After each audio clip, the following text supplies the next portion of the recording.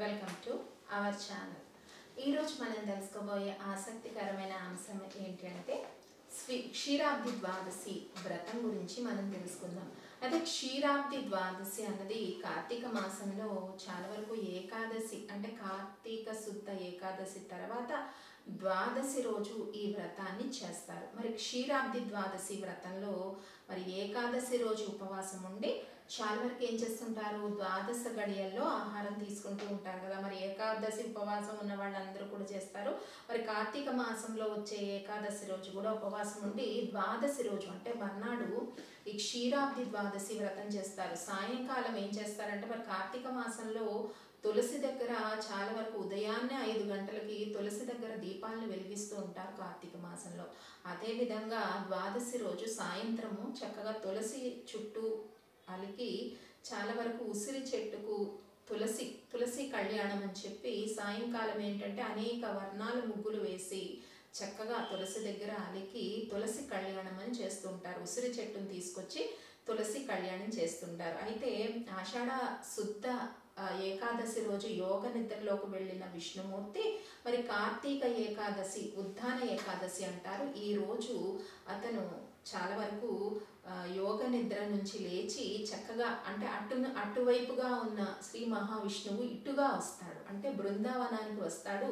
మరి ఆ బృందావనం దగ్గర శ్రీకృష్ణుడి గురించి ఎవరు ఎదురు చూస్తారు? రాధ ఎదురు చూస్తారు ఎదురు చూస్తూ ఉంటారు. కాబట్టి ఈరోజు తులసి కళ్యాణాన్ని చాలా వరకు నిర్వహిస్తూ ఉంటారు. మరి తులసి కోట దగ్గర బృందావనాన్ని ఏర్పాటు చేసి చక్కగా లక్ష్మీనారాయణులను పూజిస్తూ ఉంటారు రాధాకృష్ణులను కూడా పూజిస్తూ ఉంటారనమాట ఇది క్షీరాబ్ది ద్వాదశి వ్రతం. అయితే ఈ క్షీరాబ్ది ద్వాదశి వ్రతంలో శయన ద్వాదశి వ్రతం ఒకటి ఉంది.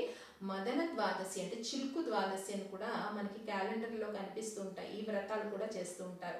మరి మదన ద్వాదశి వ్రతాన్ని ఏ రకంగా అంటే మదన ద్వాదశి వ్రతము చిలుకు ద్వాదశి వ్రతము ఒకటే. శయన ఏకాదశి వ్రతం అని చెప్పి ఇది కూడా ద్వాదశి రోజే చేస్తుంటారు. ఈ శయన ఏకాదశి రోజు కూడా అంటే ఏకాదశి వెళ్ళిన తర్వాత ద్వాదశ గడియల్లో సాయంత్రం చక్కగా ఐదు వర్ణాలు కలిగిన ముగ్గురిని తులసి కోట దగ్గర వేస్తారండి. ఐదు సంఖ్యకు ప్రాధాన్యత. ఐదు వర్ణాలు కలిగిన ముగ్గురు వేసి చక్కగా లక్ష్మీనారాయణులను పెట్టి పూజిస్తూ ఉంటారు. మరి చక్కగా ముగ్గుల్ని వేసిన తర్వాత గోపాలుడు గో సంరక్షకుడు ఇలా చక్కగా ముగ్గులుగా వేసి మరి చాలా మందికి ఏంటి అంటే అక్కడ శిల హోమం అన్నది చేస్తూ ఉంటారు. అంటే క్షీరాబ్ది శయన వ్రతం అన్నది ఎప్పటి నుంచి చేస్తారంటే ఇది ఆషాఢ శుద్ధ ఏకాదశి నుంచి ఏకాదశి వరుసగా చేసుకుంటూ వస్తారనమాట ఆషాఢ శుద్ధ ఏకాదశి రోజు మరి విష్ణుమూర్తి యోగ నిద్రలోకి వెళ్తారు కదా. యోగ నిద్రలోకి వెళ్ళిన తర్వాత ఈ నాలుగు మాసాలు చాతుర్మాస వ్రతం చేసి మరి కార్తీక శుద్ధ ఏకాదశి రోజు కూడా మండి ఉపవాసం ఉండి ద్వాదశి రోజు సాయంత్రం ఈ చాలా వరకు మదన ద్వాదశి వ్రతాన్ని కానీ శయన ద్వాదశి వ్రతాన్ని కూడా చే కానీ చేస్తూ ఉంటారు.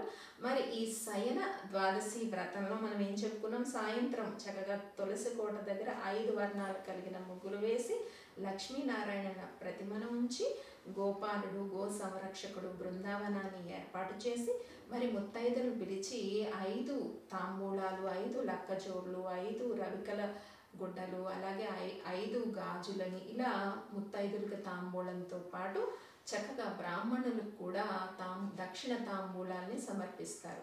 మరి సాయంత్రం బృందావనం అంటే తులసి కోట దగ్గర తిల హోమం చేస్తారు చాలా వరకు. తిల హోమం చేసి వెండి తులసి కోటని అలాగే బంగారు లక్ష్మీనారాయణుల రూపుల్ని చాలా వరకు బ్రాహ్మణులకు దానమిస్తూ ఉంటారు. మరి చాలా వరకు క్షీరా క్షీరాబ్ది శయన ద్వాదశి కథ గురించి కూడా మనం తెలుసుకుందాం. అయితే చాలా వరకు ఒక గ్రామంలో వేణి అనే ఒక అమ్మాయి ఉందంట. ఆ అమ్మాయి ఏంటంటే చక్కగా ఈ క్షీరాబ్ది ఆ, శయన వ్రతాన్ని చేసిందట. ఏకాదశి కార్తీక శుద్ధ ఏకాదశి రోజు వచ్చే ద్వాదశి రోజు క్షీరాబ్ది శయన వ్రతం ఎప్పటి నుంచి ప్రారంభించాలి?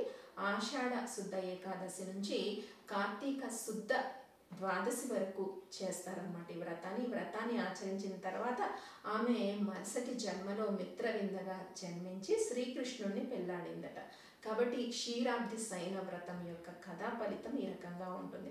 అలాగే దీంట్లో క్షీరాబ్ది మదన అంటే చిలుకు ద్వాదశి అని ఇంకొకటి చేస్తారు. ఈ చిలుకు ద్వాదశి ఎలా చేస్తారంటే మూడు రకాలైన వ్రతాలు ఉన్నాయి. ఇది క్షీరాబ్ది ద్వాదశి వ్రతంలో తులసికి ఉసిరి ఉసిరి కొమ్మకి తులసి కళ్యాణం అని చేస్తారు. బృందావనాన్ని ఏర్పాటు చేసి ఈ ఇదంతా కూడా చేస్తూ ఉంటారు. ఎక్కడైనా కూడా సాయంత్రం ద్వాదశి రోజు చక్కగా తులసి కోట దగ్గర చక్కటి ములుగు అంటే ముగ్గులు అవి వేసి బృందావనాన్ని ఏర్పాటు చేస్తూ ఉంటారని మనం తెలుసుకున్నాం అయితే ఈ చిలుకు ద్వాదశి మొదల ద్వాదశిలో ఏం చేస్తారంటే ఆశ్వీజ శుద్ధ ఏకాదశి నుంచి అంటే ఆశ్వీజ శుద్ధ ఏకాదశి నుంచి కార్తీక శుద్ధ ఏకాదశి వరకు చేసేది చిలుకు ద్వాదశి అంటే మదన ద్వాదశి వ్రతం. ఈ వ్రతంలో కూడా ఏకాదశి ఉపవాసం చేసి ద్వాదశి గడియల్లో ఆహారం తీసుకొని ద్వాదశ ద్వాదశి రోజు సాయంత్రము చాలా వరకు తులసి కోట దగ్గర చక్కటి వర్ణాలతో ముగ్గులు వేసి ఇక్కడ కూడా ఐదుగురు ముత్తైదులకు వాయనం ఇస్తూ ఉంటారు సాధారణంగా. అలాగే దీన్ని ఏం చేస్తారంటే మూడు పిండి ముద్దలు చేస్తారు. పిండి పిండితో మూడు పిండి ముద్దలు చేసి ఒక పిండి ముద్దని బ్రాహ్మణుడికి దానమించి మరొక పిండి ముద్దని రోట్లో వేసి దంచుతూ ఉంటారు అనమాట దంచుతూ ఉంటే ఆ పాల చుక్కలు పడుతూ ఉంటాయి. పాలు వేసి ఆ పిండి ముద్దని దంచుతూ ఉంటే రోట్లో ఆ తులసి చెట్టు దగ్గర దంచుతుంటే ఎన్ని తుంపర్లు అయితే పడతాయో అన్ని సంవత్సరాలు చక్కగా యోగవంతమైన జీవితాన్ని అనుభవిస్తారట. కాబట్టి ఈ రకంగా ఒకటి దంచి మరొకటి వాయనంగా ఎవరికైనా ఇస్తూ ఉంటారు. మరి ఐదు సంవత్సరాలు ఈ వ్రతాన్ని మదన ద్వాదశి వ్రతాన్ని చేస్తారు. మరి ఐదో సంవత్సరం చక్కగా పదిహేను మంది బ్రాహ్మణులకు భోజనం పెడతారు. మరి ఐదుగురు ముత్తైదులకు తాంబూలాలు ఇస్తారు. ఈ మదన ద్వాదశి వ్రతాన్ని కూడా ఐదు సంవత్సరాలు నిర్వహిస్తారు. మదన ద్వాదశి వ్రతానికి సంబంధించిన ఒక కథ కూడా ఉంటుందండి. దీంట్లో ఏంటి అంటే ఒక ఒక దంపతులకు చాలా కాలం సంతానం లేరట. ఈ దంపతులకు సంతానం లేకపోతే మరి శ్రీమన్నారాయణుని వేడుకుంటే మరి భగవంతుడి ప్రత్యక్షమై మీకు ఆయుష్ లేని కుమారుడు కావాలా? ఐదో తనం లేని కుమార్తె కావాలా? అని అడిగాడట. మరి ఆయుష్ లేని కుమారుడు ఎందుకు? ఐదో తనం లేని కుమార్తె కావాలని అతను కోరుకున్నాడట ఆ శ్రీ మహావిష్ణువుని. అలాగే ప్రసాదించిన తర్వాత కొంతకాలం వాళ్ళ కుమార్తె కలిగింది. తల్లిదండ్రులు ఇద్దరు కాలం అయిపోయినాక మరణించారు. ఆ కుమార్తె చాలా వరకు వివాహం చేసుకుంది. వివాహం చేసుకున్న తర్వాత వైధవ్యం ప్రాప్తించింది. భర్త ఎందుకంటే ఐదో తనం లేని కుమార్తె కావాలని కోరుకున్నారు కదా. భర్త చనిపోయాడు. ఇంకా అక్కడి నుంచి ఆమె ధోరణి ఎట్లా ఉంది అంటే ఎవరు వచ్చినా కానీ విసుక్కోవడము మొహం మీద తలుపేయడం ఎందుకంటే చిన్న వయసులో భర్త చనిపోయాడు కాబట్టి ఇలాంటి లక్షణాలతో అమ్మాయి ఉండేదట. ఒకసారి సాక్షాత్తు శ్రీమన్నారాయణుడే వచ్చి భిక్షాటన అడిగాడట అమ్మాయిని. అంటే ఏమాత్రం ఈమెకి కొత్త పుణ్యమైనా ఇద్దామని అడిగితే ఇంట్లో ఏమీ లేదు నాస్తి నారాయణ అని చెప్పి ఒక కంది ఒక గుడ్డని విసిరిందట. అంటే ఈ అంటే భిక్ష భిక్ష తీసుకునే యాచకుడు రూపంలో విష్ణుమూర్తి మీదకి ఒక గుడ్డ విసిరితే దాంట్లో ఒక కంది గింజ తగిలిందట విష్ణుమూర్తికి. దాన్ని అక్కడే విష్ణుమూర్తి పాతేసి వెళ్ళిపోయాడట. అయితే తర్వాత అమ్మాయి ఏంటి అంటే ఇంకా వైధవ్యం ప్రాప్తించింది కదా కొన్నాళ్ళైన తర్వాత చనిపోయి పురుగుగా పుట్టిందట. ఆ కంది గింజను పాతేటప్పుడు ఒక కంది మొక్క అక్కడ మొలిసిందట. ఆ కంది మొక్కలో ఈ పురుగుగా ఈ అమ్మాయి జన్మించిందట. మళ్ళీ జన్మలో కూడా ఈమెకు మోక్షం లేకపోతే అప్పుడు లక్ష్మీదేవి వచ్చి తన దీపదానం యొక్క ఫలితాన్ని ఆ పురుగుకు దానం ఇస్తే మరలా వచ్చే జన్మలో వైధవ్యం పోయి చక్కటి సుమంగళిగా పిల్లలు భార్యాభర్తలు పిల్లలు అందరూ కలిసి జీవించారట.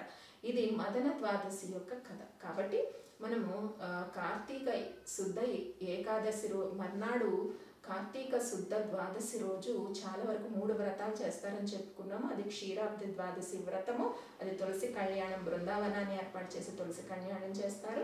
ఇంకొక వ్రతం శయన ద్వాదశి వ్రతం గురించి కూడా తెలుసుకుందాం. ఇప్పుడు చిలుకు ద్వాదశి అంటే మదన ద్వాదశి వ్రతాన్ని కూడా చాలామంది చేస్తుంటారు. ఈ వ్రతం చేయడం వల్ల స్త్రీలకు ఏ జన్మలో కూడా వైధవ్యం ప్రాప్తించదట. ఇది కార్తీక క్షీరాబ్ది ద్వాదశి వ్రత ఫలితం.